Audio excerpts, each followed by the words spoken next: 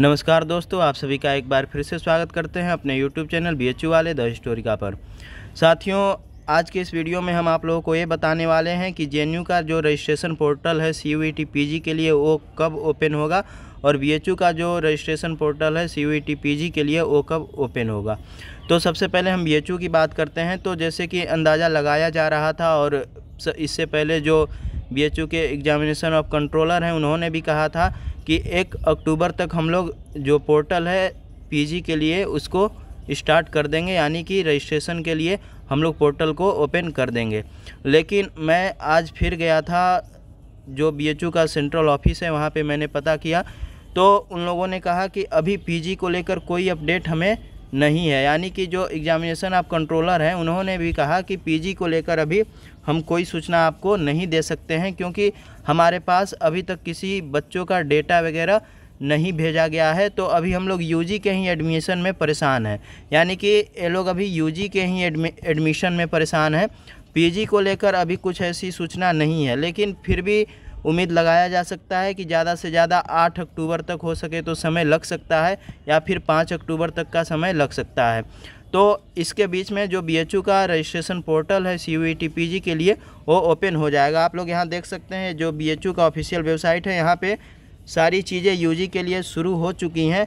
UG ए सारा जो portal है यूजी के लिए शुरू कर दिया गया है, लेकिन पीजी को लेकर अभी कोई अपडेट कहीं से BHU का जो पोर्टल है, उस पर नहीं दिखाई दे रहा है यानी कि पीजी का जो ऑनलाइन काउंसलिंग प्रक्रिया है या जो रजिस्ट्रेशन की प्रक्रिया है, वो शुरू नहीं की गई है बीएचयू की तरफ़ से कहीं से भी।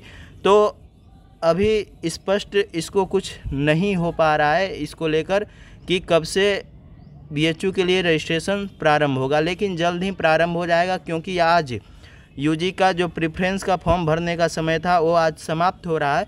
तो आज समाप्त होने के बाद हो सकता है कि ये लोग पाँच तारीख तक या कल तक हो सकता है आठ तारीख तक। ये लोग BHU के लिए ऑनलाइन जो रजिस्ट्रेशन की प्रक्रिया है उसको शुरू कर देंगे। अब हम बात कर लेते हैं जे की कि जे की कब शुरू होगी। तो देखिए जे में भी अभी यूजी की जो है वो ऑनलाइन रजिस्ट्रेशन और काउंसलिंग एडमिशन की प्रक्रिया चल रही है। तो जे और BHU ये दोनों ही यूनिवर्सिटीज़ दो, जो हैं ये दोनों अभी यूजी के एडमिशन में बिज़ी हैं, यानी कि ये लोग अभी यूजी के लिए एडमिशन ले रहे हैं तो इसकी वजह से और जेएनयू का पोर्टल जो थोड़ा यूजी के लिए है, वो थोड़ा देर से भी ओपन हुआ।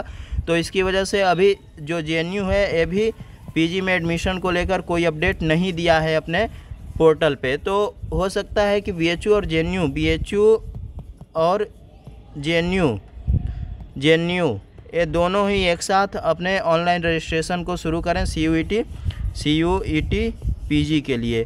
तो साथियों, अगर हमारी ये जानकारी आप लोगों को अच्छी लगी हो तो हमारे चैनल को सब्सक्राइब कर लीजिएगा, वीडियो को लाइक कर दीजिएगा और ज़्यादा से ज़्यादा शेयर कर दीजिएगा ताकि ये जानकारी ज़्यादा से ज़्यादा लोगों तक पहुँच सके और ऐसे ही हम आप लोगों को इन्फॉर्मेशन देते रहें। धन्यवाद।